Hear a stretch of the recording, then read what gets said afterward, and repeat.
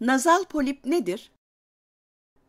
Bu soruya verilebilecek en iyi cevap şu olabilir. Nazal polipler burnun içindeki fazla büyümüş dokulardır.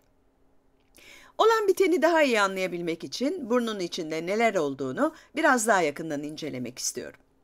Normalde burnumuzun içi nazal mukoza adı verilen pembe ve yumuşak bir doku ile kaplıdır. Nazal mukoza, hücrelerin bir araya gelmesinden oluşan yaklaşık kağıt kalınlığında bir doku olmasına rağmen yer yer daha kalındır. Aslına bakarsanız gün içinde bile nazal mukozanın yer yer şiştiğini, sonra da bu şişliğin indiğini bazen biz bile hissedebiliriz. Peki işler yolunda gitmediğinde neler olur dersiniz? Diyelim ki bu çizdiğimiz burun polene alerjisi olan birinin burnu olsun. Buraya birkaç polen taneciği çiziyorum. Gerçekte olduklarından biraz büyük oldular ama olsun. Alerjik riniti olan bireylerde polenlerin solunması burun içinde zincirleme bir reaksiyon başlatır. Hatta kronik alerjik rinit rahatsızlığı olan kişilerde nazal mukoza o kadar irite olur ki şişerek genişlemeye başlar. Bu yüzden kronik alerjik rinit nazal poliplerin bir numaralı sebebidir. Şimdi buradaki dokunun uzun süren bir enflamasyon evresinden sonra büyümeye ve kalınlaşmaya başladığını düşünelim. Öncelikle minik bir şişlik olur ama bu şişlik zaman içinde iyice büyür. Büyüdükçe büyür ve daha da büyür. Bunun bir tümör gibi davrandığını düşünebilirsiniz. Aslında evet, bu bir neoplazma yani doku büyümesi ama kötü huylu bir şey değil. Şişlik burun içinde takılmaya başlar ama bu burun için pek de iyi bir durum olmaz. Çünkü burun çok önemli şeylerin gerçekleştiği bir organdır. Hatta size farkında olmadığınız şeylerin bile burnunuza süzüldüğünü söyleyebilirim.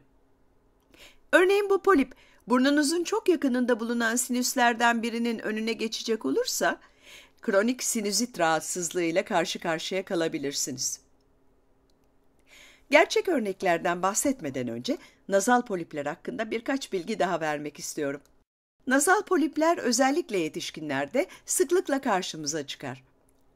Burun içi doku büyümelerinin en sık rastlananı olan poliplerin çocuklarda görülmesi ise çok sık rastlanan bir durum değildir.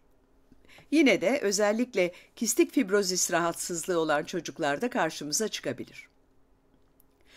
Nazal poliplerle ilgili bir başka bilgi ise diğer alerjik rahatsızlıklarla da bağlantılı olmasının yanında özellikle astım ve aspirin alerjisiyle olan bağlantısıdır.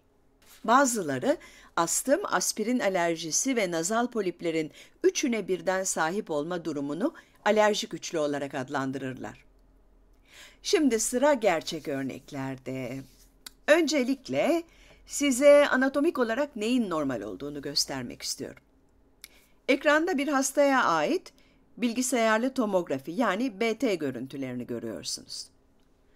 Nazal poliplere geçmeden size normal yani sağlıklı bir bireye ait görüntüleri göstermek istedim. Soldaki koronal bir görüntü. Koronal hastanın yüzüne tam karşıdan bakarak alınmış görüntü anlamına gelir. Bunlar gözler. Bu ağzın içindeki dil. Dile yakın dişlerden bazılarını da görebilirsiniz. Şu alan ise hastanın burun boşluğu ve sinüslerinin görüntüsü. Görüntüde siyah görünen bu alanlar hastanın maksiller sinüsleri. Burnun tam ortasındaki düz kısım septum. Maksiler sinüslerin uzantısı olarak görülen bu kısımlara ise konka adı veriliyor. Buradakiler de etmoid sinüsler. Bunlara etmoid hava hücreleri dendiğini de duyabilirsiniz. Evet bahsi geçen tüm bu yapıların videonun başında bahsettiğim pembe mukoza ile kaplı olduğunu tekrar eklemek istiyorum. Çok ince olduğu için mukozayı görüntüde göremezsiniz. Ama konkalarda daha kalın olduğu için e, buralarda biraz daha belirgin. Evet, mukozayı da pembeyle işaretledim. Şimdi sağdaki aksiyel görüntüye bir göz atalım.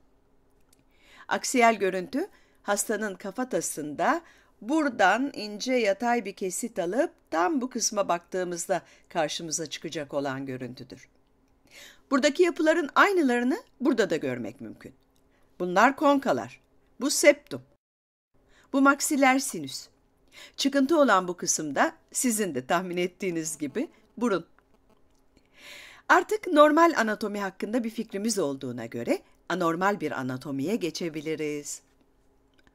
Mukoza iltihaplandığında zaman içinde hiperplastik bir doku olan polipe dönüşüyordu. İşte bunlar da nazal polipleri olan bir hastanın koronal ve aksiyel görüntüleri. İlk görüntülerden oldukça farklı öyle değil mi?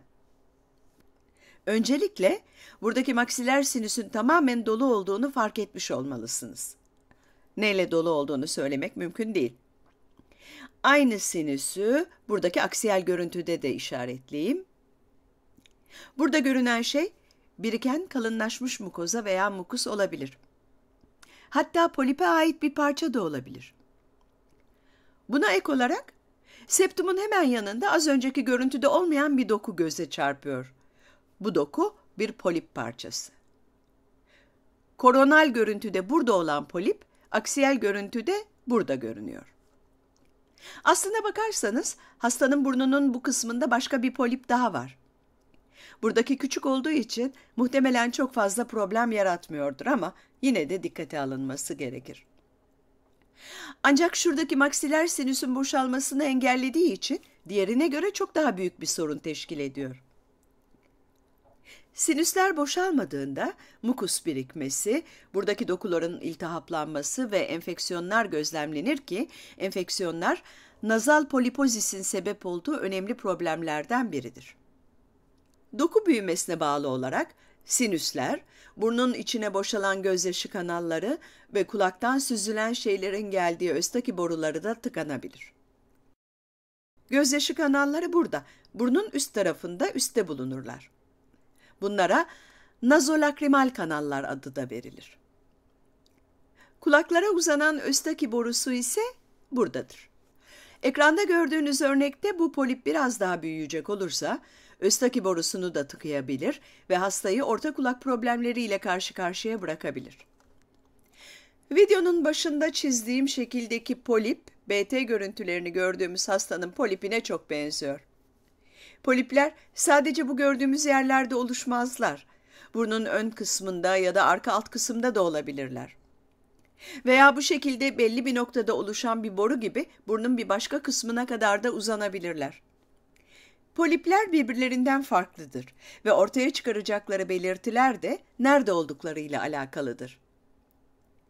Peki polip tedavisi için neler yapılabilir? Öncelikle iltihaba yol açan faktörlerin ortadan kaldırılması gerekir. Çoğu hastada bu alerjilerin tedavi edilmesi anlamına gelir.